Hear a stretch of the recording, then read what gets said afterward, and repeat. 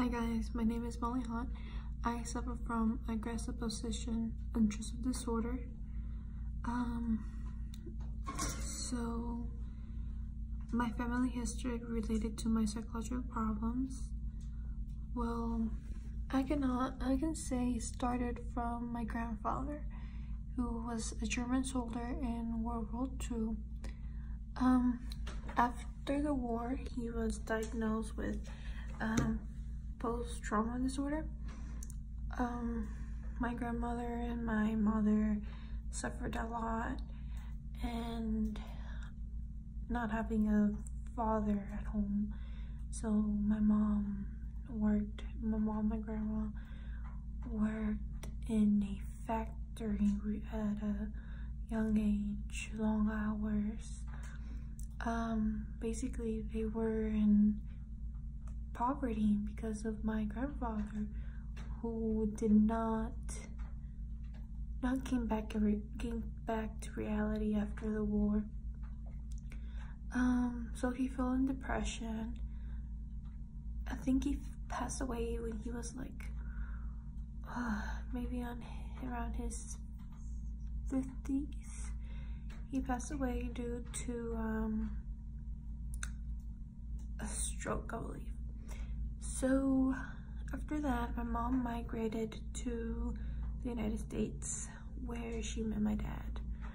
Um, ex her experiences did not get better.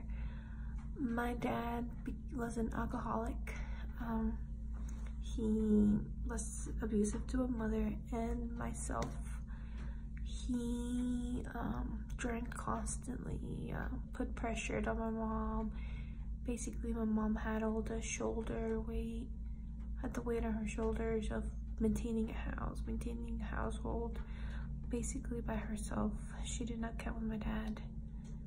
Um she worked in a factory here in um, new york.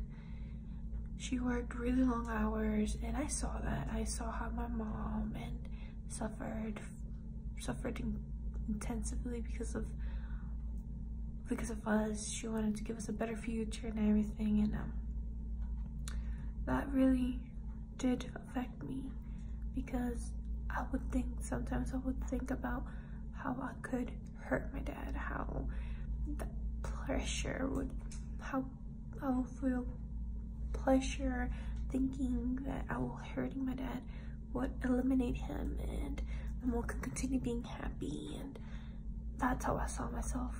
And I believe that's was the first memories of me having those intrusive thoughts of harming people.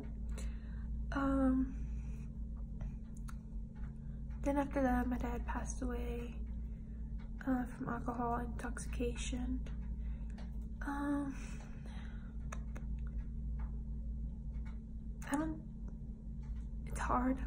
It really is hard. Um, so, I, like I said, I first noticed when that I was different to other people when those thoughts of me thinking of harming my dad would be, be the solution for my family problems. And um, my dad was never in my life. So I really didn't have feelings for him if he was in my life. So I, eliminating him would be perfect and I wouldn't care. I saw that through Mel a lot. I see that um I could harm me having the sensation of harming a person would be okay. Um not really caring um, so my disorder impact my thoughts and actions and feelings. So I will be walking on the sidewalk, walking, and I will see a guy or an older man, and I'll think, I will imagine how it will feel to slit his throat, stab him, like how would it feel like what will be the feel of hurting, of really hurting someone, not just mentally or by words, by physical stabbing and seeing the blood drop. I think I would enjoy that, but I know I would never do it. It's just the thought. That's when my intrusive thoughts kick in, and um, I'm feeling of my diagnosis. I know it's not right. I know it's not. It's not ethical of me wanting to harm person. But it's just, it's in my head. It's in my head. I don't want to do it. I really do want to do it. Um, I do take medications. I, I take medications.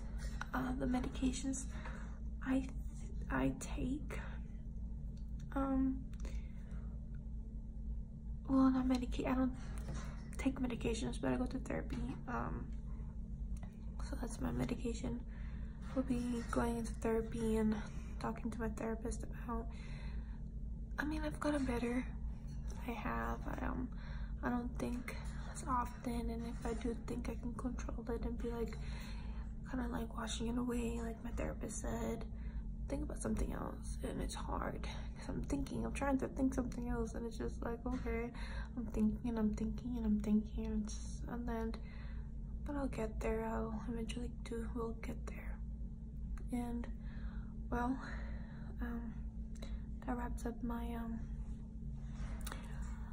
my interview for um my disorder. Thank you